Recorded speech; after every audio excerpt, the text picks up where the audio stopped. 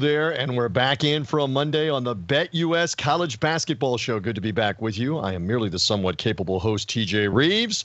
As we get ready to embark on another week here in the month of December, you see the handicappers, Matty Cox and also Corbie Craig, are back here for a Monday. Guys, I spent uh, a day and a half in Atlanta in the ATL. My Buccaneers in the NFL world got a dramatic win. I'm in a good mood. I'm even in Buccaneer red here on the program. I'm in a good mood for that. Lots of college basketball. I took a lot of it in on Saturday and Saturday night. I didn't get to see as much on Sunday, although my Memphis Tigers did get a win. Some interesting things in the Big Ten, etc. So welcome for a Monday, uh, Matty Cox. An opening thought or two off of the weekend and what we saw before we get into Monday. Yeah, well, thoughts and prayers for basketball in the Mitten State, TJ. Uh, Michigan State is reeling right now. Another loss they mm. took at the hands of the Nebraska Cornhuskers. Meanwhile, their in-state rival, uh, Michigan, they have some coaching uh, rumors swirling uh, in, in not a good way. There seemed to be some uh, headbutting on the sidelines with who's in charge and what the pecking, pecking order is there. So after, you know, kind of a, a promising and a, a, ton of hype surrounding both teams to start, it's, it's interesting to look back now and both of those Big Ten teams, like many – other Big Ten teams. Uh, you know, the, the, it's sort of a tailspin. It, it, seems like right now. Quick version, one or two things. What is wrong with Michigan State from what you see? They have obviously on paper a very talented team, but what's up? Uh, can't shoot, and I think there's a mental uh, block. There's just a mental blockage right now. I don't feel like that team plays any sort of intensity or joy. Like I, I think the the strain of the expectations and the continuing disappointing is now culminating in like this continuing um, poor play, I guess. I don't know. It, it doesn't look good. It doesn't pass the eye test. And Izzo, Izzo has said that uh, typically they would go uh, bang this out in practices, physical practices, but it's just not the same anymore on what you're allowed to do and how you're allowed to do it. Yeah. Don't know. Corbie, maybe you have a thought on that. Good to be with you on a Monday. Thoughts off the weekend. What stood out to you, my friend? Yeah, this Michigan State thing, I, I, I think they just don't have any like guys that are willing to take over. I don't know if I'm lagging really bad. It looks like I am, but I don't know if they have any anybody that's just willing to take over. Like it, it just seems like they have one guy basically who uh, will score if the team needs it, and everybody else is just kind of like a system basketball player. But yeah, thanks for the weekend. Uh, we were talking about heading into this weekend. This is an Auburn team who I was talking good about, uh, and then they go lose to App State, and then on Saturday they score 104 versus Indiana. So um, I, Auburn is a team that I, I, think has a lot of upside. I talked about it on Friday, but um, a team that goes 12 deep, that's really tough to play in, in most cases. So to score 104 versus Indiana, by all means, it's uh, a very impressive performance. We did touch on uh, Purdue and Alabama playing in Toronto. Purdue, tremendous performance to go back to the Big Ten. And, and Corbie, you're obviously based in Alabama. Quick thought on that before we move along? Yeah, I think it's funny to watch Purdue games and and like listen to the accolades and people complain about Zach Edey getting the free throw line so much. This is a team that goes through Zach Edey. Like it, it, like Alabama was complaining about the free throw differential. It, it's like you shot more threes than the rest of the nation combined. You're not going to get calls. And uh, like if you watch the foul at the end of the game, they were complaining. Uh, guy jumped up and tried to block Edey down four with like 15 seconds. I mean, they slow mode the replay from the backboard cam. He grabbed both hands. Like he grabbed each one of Edey's hands and pulled them down. It's like that is. Every, I listen. I hate foul calls. That is a foul. A foul. I mean, right. You can't stop it. It's not. It's not a bad call. It's just that Edey is so big and they know how to use him. So uh, Purdue, a, a, tough force when uh, Zach Edey can get going. We also saw uh, Villanova bounce back and beat UCLA in a national TV game. How about Washington late Saturday night beats Gonzaga? Yep. So we had some interesting things from the weekend. Okay, off the show and off of week five, let's take a look at the records before we put things into motion for a light Monday. As you see off the show, we maintain a 15 game above 500 overall record. Uh, in fact, everybody on the show from a handicapping standpoint remains above the Mendoza line, which we love, including Matty Cox uh, leading the way right now. Uh, percentage wise, well, I don't know, maybe Kyle's leading the way percentage wise, but uh, you're five games above 500. Matty Corbie just above 500. And we are ready to go with Monday. Let, uh, again, it's a lighter day, but we are going to have some official plays, including we go all over the board, folks, on BetUS TV, live on Mondays at 11 a.m. Eastern Time. That includes Howard and Penn. Penn out of the Ivy League favored by five at home with a total of 149 in this one. So let's begin some discussion and get an official play, shall we? Both of you are up on this one. Matty Cox, start the discussion, please. What do we like and why uh, on a Monday game here at Penn? Yeah, I think on the surface, you look at this spot for Penn. They just played at Wells Fargo, uh, you know, in town, neutral site where the Sixers play against Kentucky, and they had Kentucky shaking in their boots late in that game. Kentucky responded with a final counterpunch to put them away, but I think it was sort of another um, episode where we've seen this Penn team, very young but well coached under Steve Donahue, you know, kind of improving rapidly as they kind of gear up for Ivy League play it seems like a whack-a-mole team just because of the youth they have, and sometimes they don't always put all their chips in for the non-conference. They're all about winning the conference. That's their only path to the tournament. But I think this spot tonight against a Howard team who has been off for I think too long. Um, you know, so Penn's got a one-day quick turnaround, but I think it actually works in their favor. I think they catch a rusty Howard team that really has been up and down shaky. Their only real good effort, in my opinion, was that home game against Cincinnati and like you know an all-time home hype spot. We've seen these HBCUs be great in those situations. So outside of that, I don't really, I'm not scared of this Howard team, I guess. So I'm trusting the younger, uh, the more talented, the rapidly improving Penn Quakers, the red and blue as they're more notably called under Donahue, uh, and what I think is actually a better spot despite the uh, the short turnaround here. So yeah, minus five is what I laid. Uh, so go red and blue. Uh, interesting here for this one. You were mentioning how long they've been off. Am I correct that Howard's not played a game in December? They've been off since November the 28th. Correct. That's been yep. a little. That's been a little bit. Rust factor probably a probably a big deal. Corbie Craig, I know you're going to have an official play on this as well. Uh, we say to the audience live show. You may have seen Corbie disappear, but like magic, he reappears. We hang in there live on BetUS TV. Thoughts on Penn and Howard, and what's the official play here? Yeah, it seems like the internet companies always wait till the worst moment to uh, reset the uh, the internet. But yeah, so I'm running on a hotspot, so if it gets choppy, I apologize in advance. But yeah, uh, you can get a 147 right now. Of course, sake of the show, like uh, sometimes we get better numbers, sometimes we get worse. I locked in the over 149 in this game. Basically, in short, I think this this number is pushed a little too low due to the fact that Penn is 325th in the nation in tempo on the offensive end of the glass.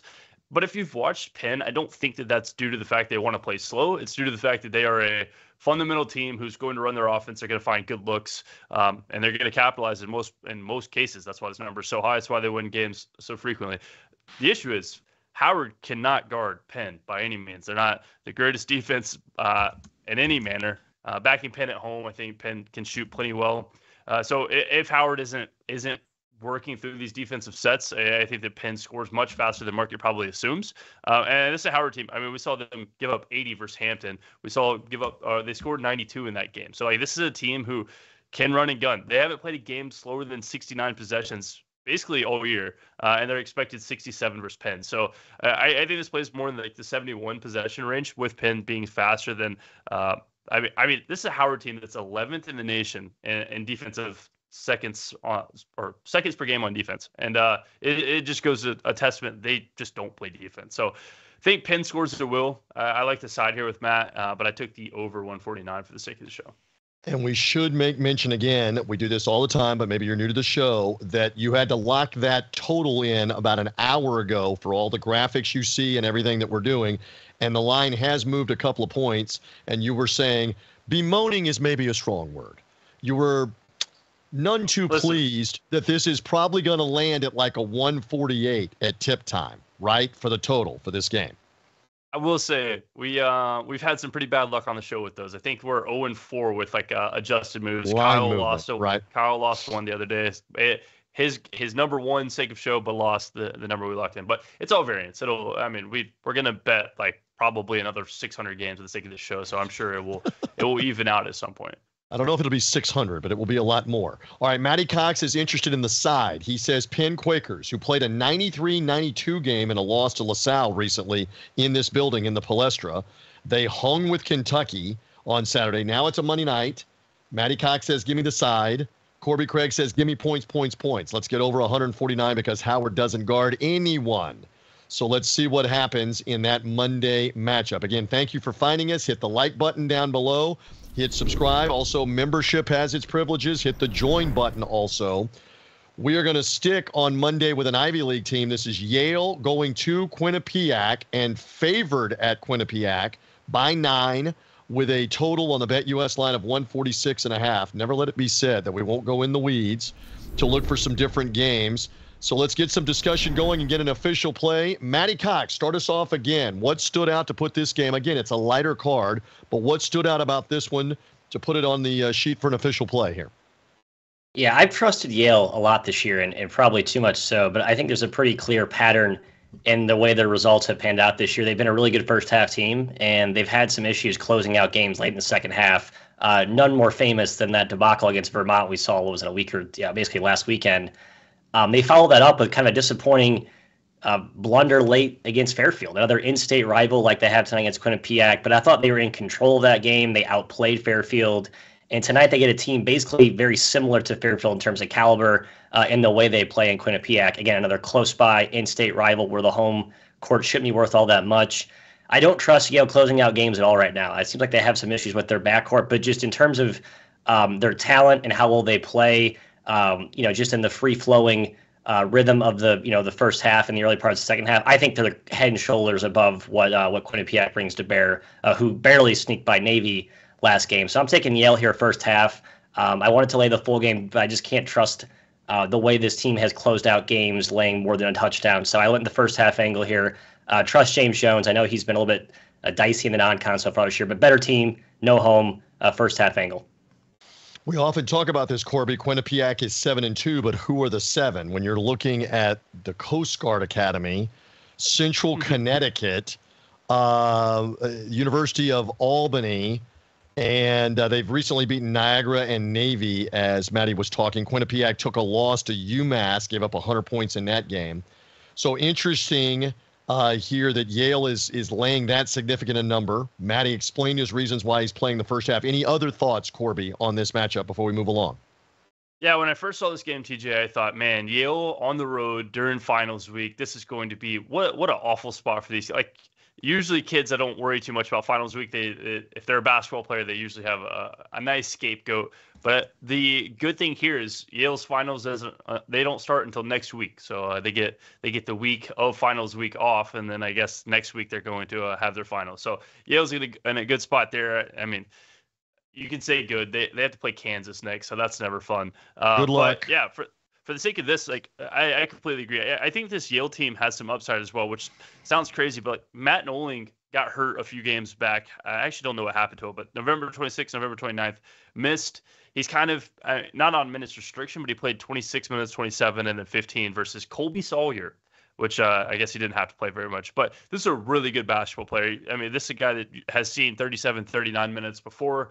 Uh, so taking any time of him off of the court, like at some point, he's going to get healthy again, and he is a, a menace. So uh, I really like this Yale team. It was my preseason. Like I, I, think that they have a pretty easy track into March, just because I don't think the Ivy is very good this year, um, and they're a team that you really don't want to face by any means. So I like this Yale team. Quinnipiac, uh, Matt alluded to it pretty quick, but they they probably shouldn't have beat that Navy team.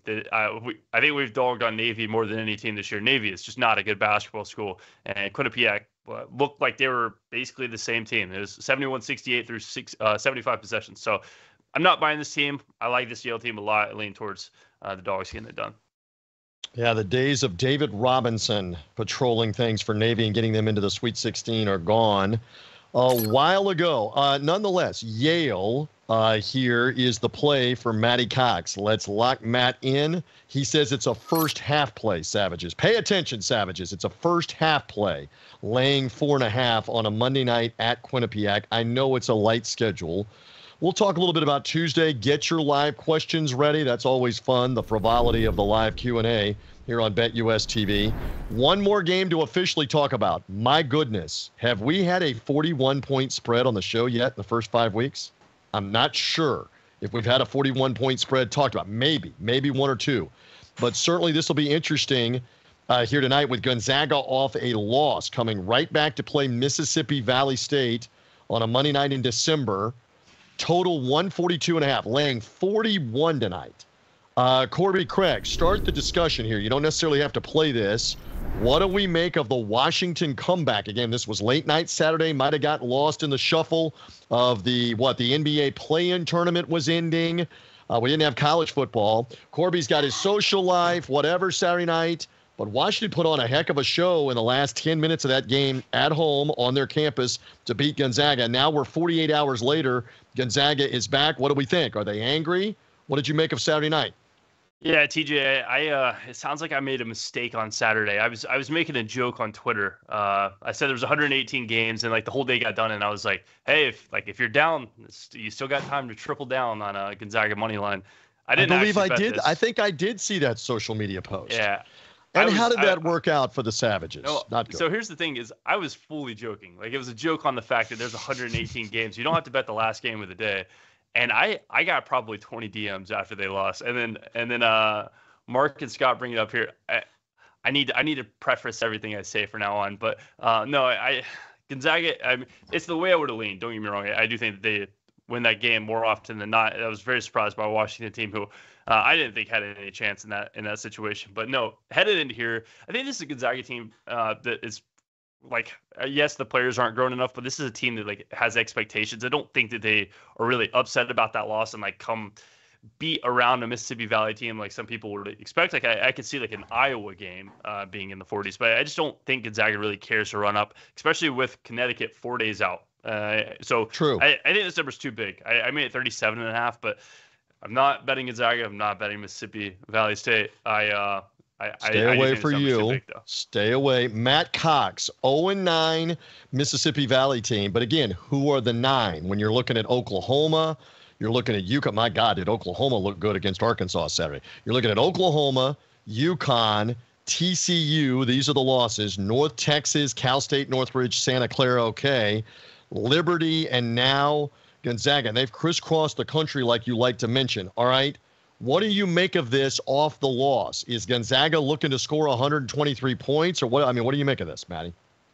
Yeah, tough spot for Mississippi State. They right catching the, the Zags off a loss is certainly not ideal, especially when it's your second West Coast uh, trip so far. We're not even into December 15th yet. Um, also, not that any player means the world for Mississippi Valley State, but there's probably one or two that do matter. Uh, and RaeQuan Brown was out last game for the Delta Devils. So if he's out tonight, man, I don't give much of a prayer. In principle, when I'm laying points in the upper 30s or higher, it's just sort of uh, is this really advised? I think we had this breakdown with with the big man Jeff UConn against Mississippi Valley State, where UConn should have won by 50, 60. They just didn't really put their foot on the gas. You could see Gonzaga, who's not that deep, having a similar type of uh, of let up. You could also argue that because they don't have a ton of depth, um, that they can't really put like their C teamers in. I think it's going to be hard for them to really take their foot off the gas. Um, and again, coming off that loss, they'll be angry today for sure. And that's a team that can put up 120 in a hurry on anyone. So I, I guess I lean this way, but I, in principle, I don't like laying points above 36 as a favorite. And it is a ton of points for sure. Gonzaga only five of 18 from three in the loss to Washington late Saturday. How much of that was Washington's defense? They are back at home. Are they going to light up the Delta Devils uh, tonight? We gave you some good conversation on that. Any thought uh, from either of you that maybe the first half play, and I don't know what the, the first half number is probably 25 or more, is, is the first half play even a glance there? I was looking at um, Mississippi Valley State first half team total. I know, in, in absolutely in the weeds, but it's a number just so art like it's it's awfully low. It's uh 22 right. and a half juice minus 140. Uh, I mean, uh, did you did did you guys see the uh, North Dakota State score last night or yesterday? Did not. They, did not. Yeah, that was not fair. That was they unfair. won 107 to 14. Uh, yep. it, I don't Against think that, that whom? happens here. Were they were they playing like a hockey power play, and the other team only had four players? 107 to 14 honestly, it doesn't matter who it was. If you only score 14 points, like I, the the school only had an enrollment of 94 people, but like uh, at 22 points is way too low to assume a, an actual real life basketball team's going to score in, in, the first half. So I can't lay that low of a number, but we'll lean towards Mississippi Valley State under in, in some capacity here. Okay, some discussion there on uh, Gonzaga. That's the school. Oh. TJ, sorry. What what is it again? Oak Hill Christian. Trevor just Oak put it in the chat. Christian. Okay, and they uh, whew, uh, got to work on the offense. I, I would think. One player had half their points. Okay.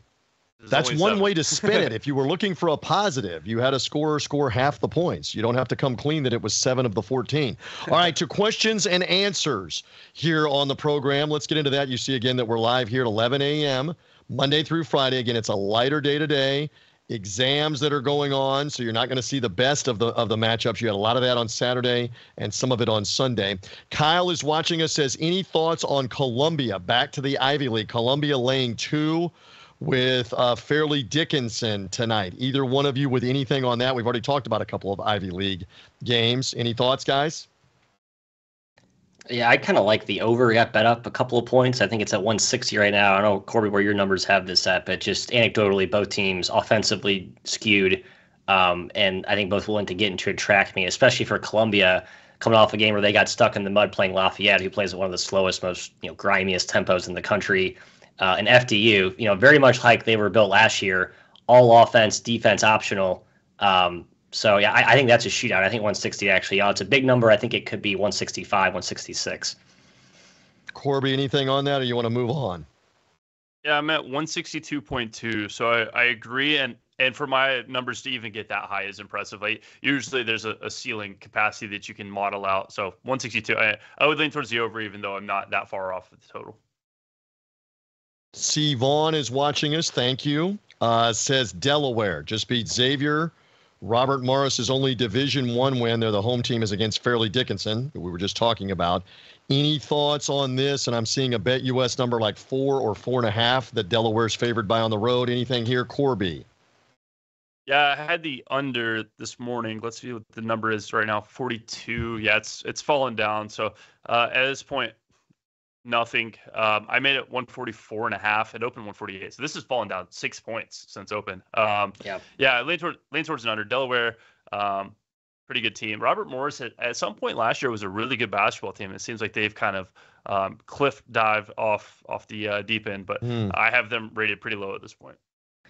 Yeah, Bobby Mo, TJ they uh, just have not had their full compilation of players all year now. I think they're the closest they've been to healthiest uh, at any point right now. But I'm still not looking to uh, to bet on a do horse, as they say, or catch a falling knife. I I guess I lean toward Robert Morris on the number, but um, I certainly think that betting Delaware seems like kind of a square side with the fact that Bobby Mo is just at their absolute base valley of price, given that they're now healthy. It looks like on paper quickly we'll go to a couple more. And by the way fire in some questions here. We're scraping we're scraping on the monday card. Get creative savages with some questions and we'll get to a couple of those before we're done.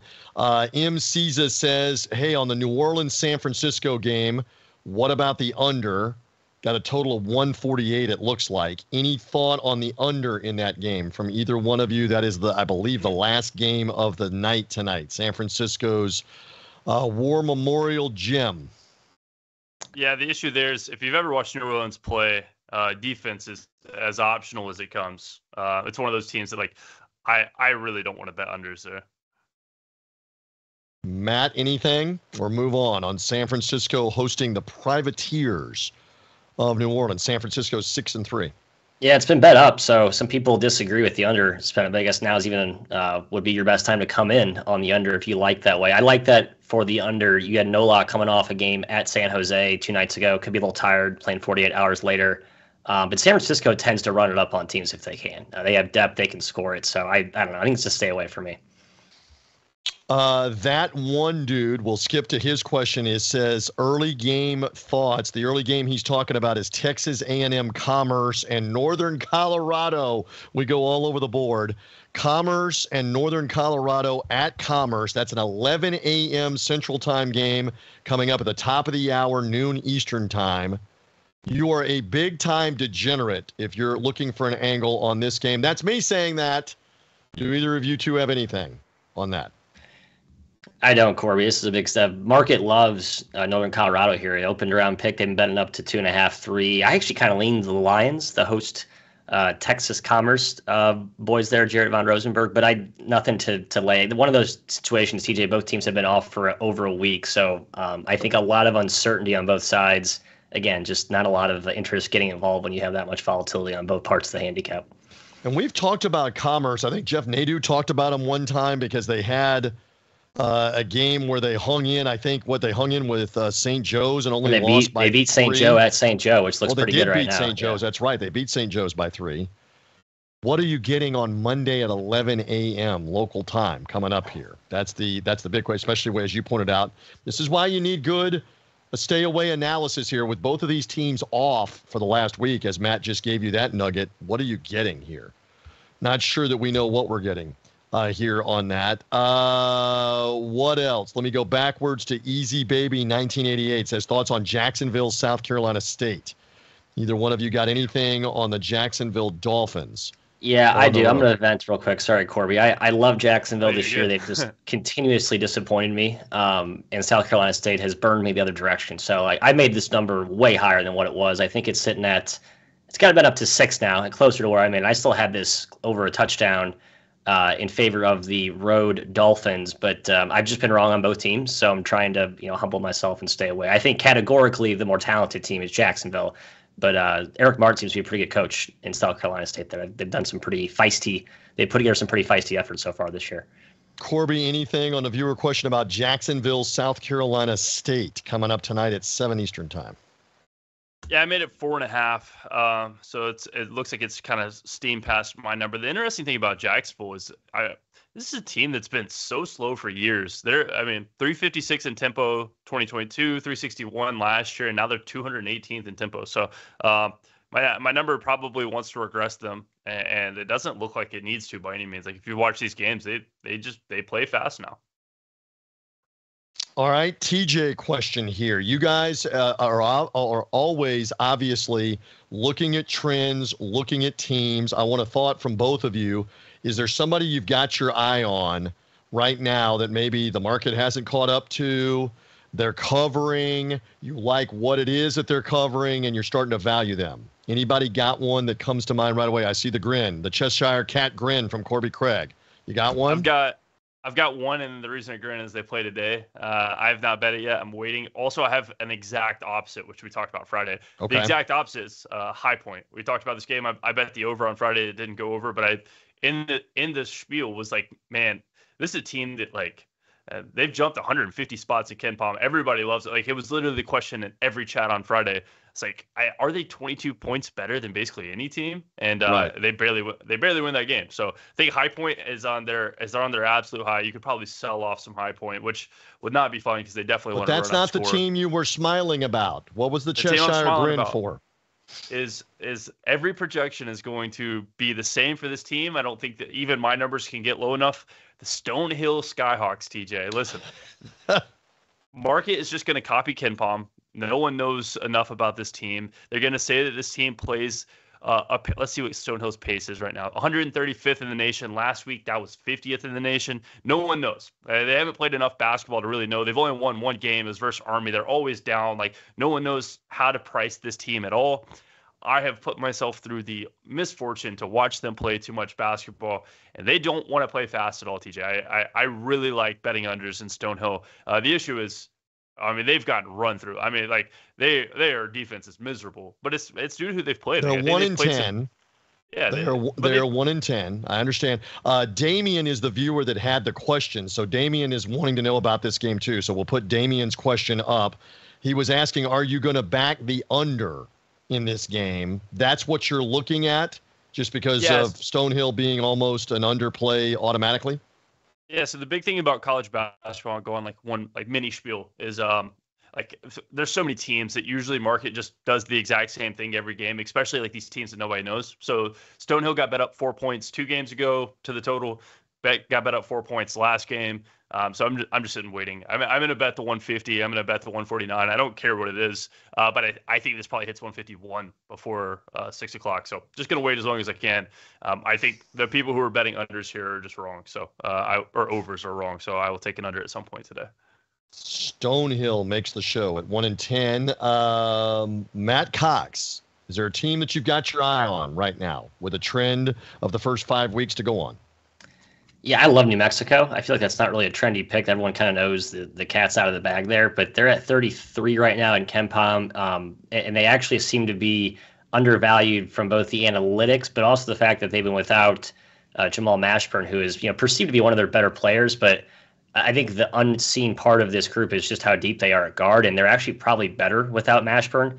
As crazy as that say, with how good Donovan Dent's been, the sophomore stud and they have some rookies. Uh, Tru Washington has been an absolute beast. Um, so yeah, so unlike Richard's dad, Rick, who has major issues with his team at St. John's right now, uh, the younger Pitino has it rolling with an awesome cast of characters uh, down there in Lobo Land. So yeah, I love New Mexico. I think even at 33, they look like they're at their ultimate peak. I think there's more room to run with this team. Yeah, Boston College put it on St. John's on Sunday night, and Rick Pitino's bemoaning his team's defense. Happy holidays, everybody, and the St. John's practices upcoming with the defense. Good luck with that. DJ. Yes, sir. I, I got a I have a confusing uh, question of the day. Is uh, Nadu and I both sit on Houston to win the championship at 20 to 1. Uh, I mean, mm-hmm. after 10, it's very early, don't get me wrong, but after 10 games, like, how is this team ever 20 to 1? They were, they had the ninth, like, ninth highest odds. They, I mean, this was a top three team going into the year. They, they, they look dominant. So, uh, feeling pretty good about that. Uh, I know they squeezed Jacksonville uh, or Jackson State on the, uh, on the weekend.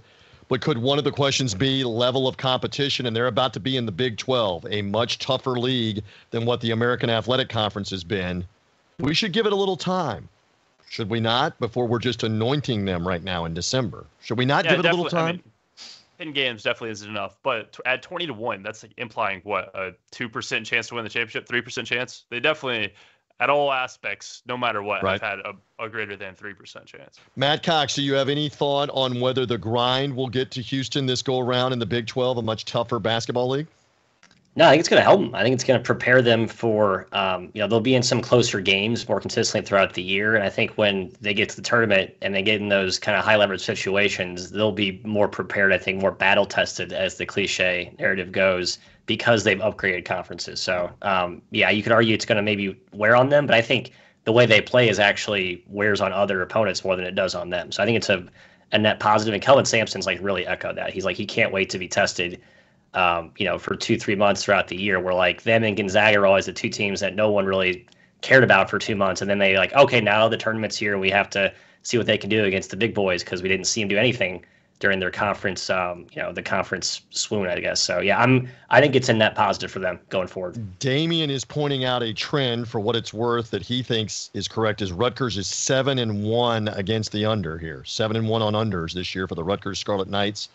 Had the game the other night with uh, with Seton Hall in the Battle of New Jersey.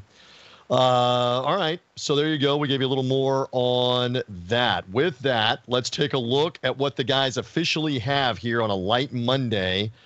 There will be uh, two games, two plays on the first game. Corbie's on the over, 149, and Matt is on the side with Penn.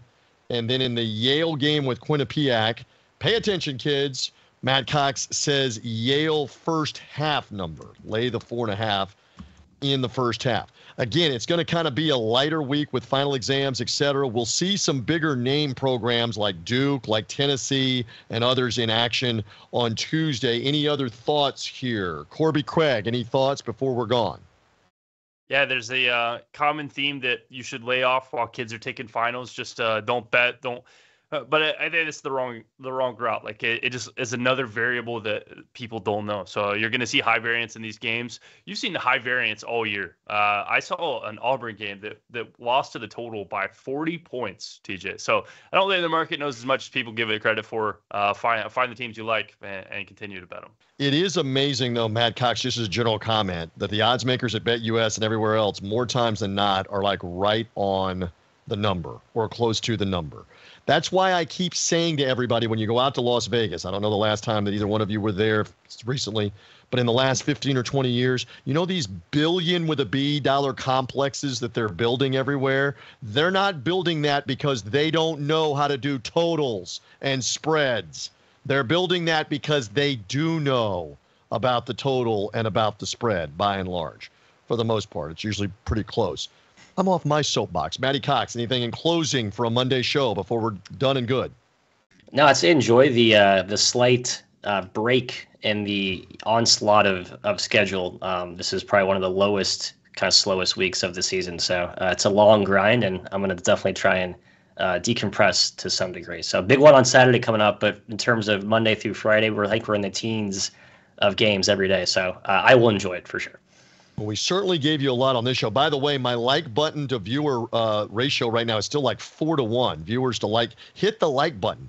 If you're sitting in here, right, I'll sit here for another minute or two, and uh, and and, and we'll talk about a couple of other things. If the likes crank up, let's let's crank the like. I mean, we'll sit here for another couple of minutes if the likes will crank beyond where they are TJ. right now. What you got a hot date? Is that what you said? It's it's ten no, thirty in the morning. I got a game we can talk about.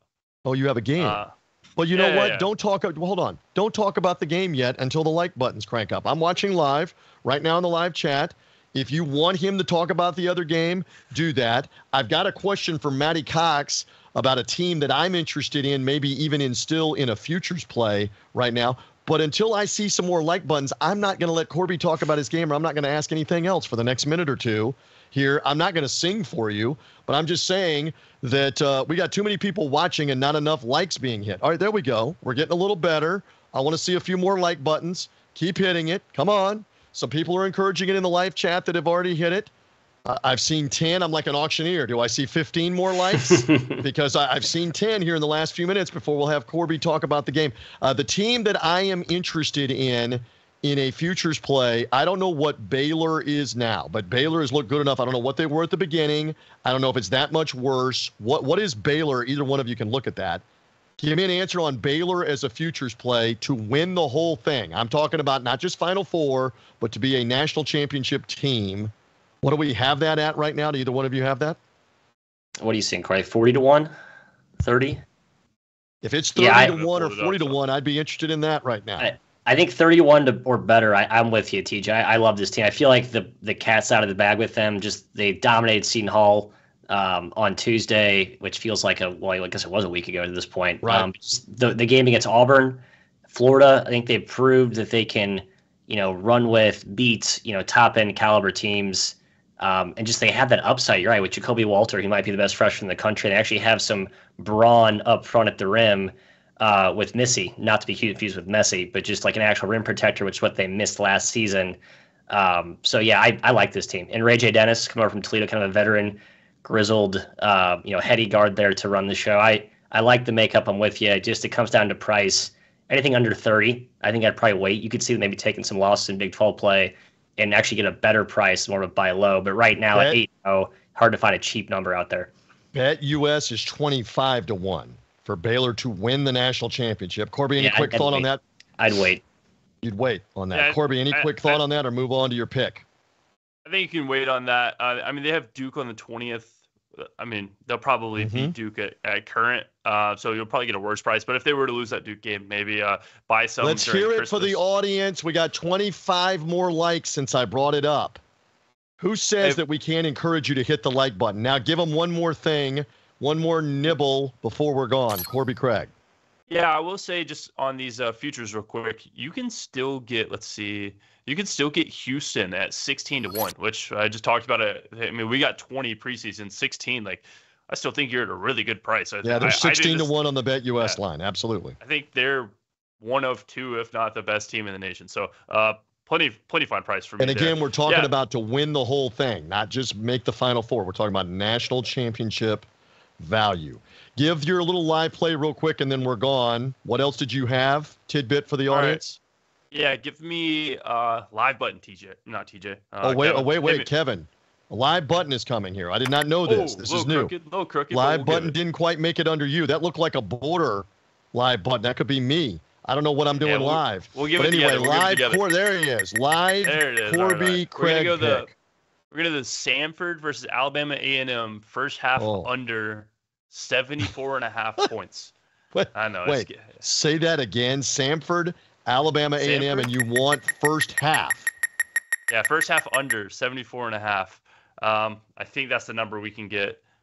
Let me know in the uh, chat or, or behind the scenes. But right. 74 and a half. Um, yeah, so this is a Samford team who I think has plenty of guard play to be able to score the basketball. I mean, we've seen for quite some time. They play an extremely fast pace. Um, but I don't know if y'all watched Alabama A&M play basketball. They're not very fast. They're they're not very good. Right. Samford just Samford's been off for a week. Uh, it's finals week in Samford. I'm not I'm not too worried uh, about them trying to just come out of the gate hot. 18th in the nation in tempo. That's why we get this number so high. Alabama A&M cannot shoot the ball to save their entire life. They're 360th in the nation in effective field goal percentage, 359th in three point percentage. That's 22.9% as a team, TJ. Mm. This team cannot score. The only place that they score is the free throw line. The free throw line, which Samford does not give a lot of. Uh, they have in games when they played a Louisiana team, a Purdue team, a VCU team. But you see them play Alabama State, and they, they held Alabama State to 67 points. That was 27 in the first half. If you scored 27 here, um, I don't think this number gets even close. Uh, give me the under in the first half. Great stuff uh, there on that. Somebody was actually asking for thoughts on laying Samford in the 18 and a half. My thought is do something else. Uh, all right, so uh, good stuff here today, guys. Well done on a lighter card. Thank you to the audience as well. The number one fingers are up here. Thank you for the audience hanging in. We'll be back here Tuesday to do this again at 11 a.m. all the way through the college basketball season. We're here for you on BetUS TV. Nice job, Corbie Craig. Nice job, Matt Cox. Kevin, everybody behind the scenes at BetUS TV. Excellent job with the show. We thank you for watching. Thanks for joining in. Don't forget to like our video. If you don't want to miss our next show, make sure to ring our bell and subscribe. For all our sports content, head to betustv.com. See you next time.